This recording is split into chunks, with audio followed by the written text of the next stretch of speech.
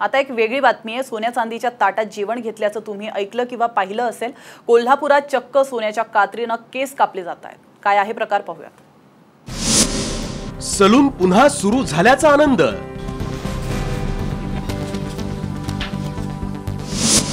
चक्क सोन्याच्या कात्रीनं hair cutting.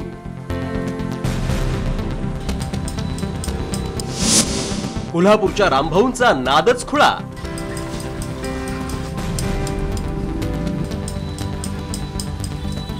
गेल्या तीन महिन्यांपासून बंद असलेलं हेरका जणू आनंदाचं भरत आलंय. कोल्हापुरातील रामभाऊनी तर पहिल्या ग्राहकाचे सोन्याच्या कात्रीनं केस कापत आपला आनंद व्यक्त केला.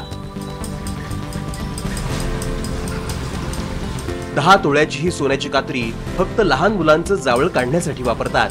मात्र यावेळी त्यांनी सोन्याच्या कात्रीनं केस कापत पहिल्या ग्राहकाचं स्वागत केलंय. आज पहिलाच दिवस आनंदा दिवस नाभिक समाजासाठी. आणि आज आम्ही सोन्याचा दिवस आहे म्हणून समजतो. आणि आज सलून चालू झाल्यात. आणि आज आम्ही पहिलीच केस आम्ही आमच्या कस्टमरची सोन्या कात्री कापून सुरुवात केलेली आहे. आणि हा आमचा आनंदाचा पहिला दिवस आहे. सोन्याच्या कात्रीनं केस कापण्याचा अनुभव ग्राहकांसाठीही स्वप्नवत होता.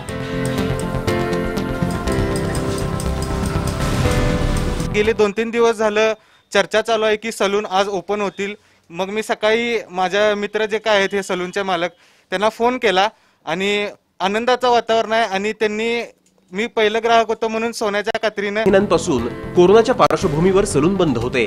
राज्य सरकारनं काही अटी शर्तींवर सलून सुरू करण्यास परवानगी दिली आहे व्यवसाय सुरू झाल्यानं सलून व्यावसायिकांमध्ये आनंदाचं वातावरण असणं स्वाभाविक आहे. मात्र कोल्हापूरच्या रामभाऊंनी तो आगळ्या वेगळ्या पद्धतीने व्यक्त केलाय.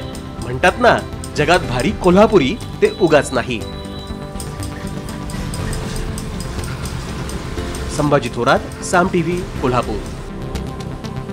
हे इतिहासात पहिल्यांदाच आषाढी पालखी सोहळा आणि पंढरपूरची यात्रा रद्द करण्यात आली आहे. याचा फटका पंढरपूरच्या बाजारपेठेवरही झालाय. तीन महिन्यांपासून मंदिर परिसरातील प्रासादिक वस्तू विक्रीची दुकानं बंद आहेत. त्यामुळे किरकोळ व्यापाऱ्यांना मोठा आर्थिक फटका बसलाय. गेल्या वर्षी साधारण चार कोटी चाळीस लाख एवढी देणगी आणि आषाढी यात्रेवर बरेचसे निर्बंध असल्यामुळं तसेच सतरा मार्चपासून मंदिर भाविकांना दर्शनासाठी बंद असल्यामुळं यावर्षी हे उत्पन्न मंदिर समितीला मिळणार नाही.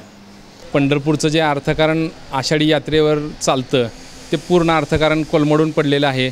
साधारण पंढरपूर शहरामध्ये पाच कोटी रुपयाची उलाढाल होते पूर्ण बाजारपेठेची. ती पूर्णपणे ठप्प आहे. यासोबतच बुलेटिनमध्ये वेळ झाली इथंच थांबण्याची मात्र तुम्ही कुठेच जाऊ नका पाहत रहा साम टीव्ही बातमी जी व्यवस्था बदलेल.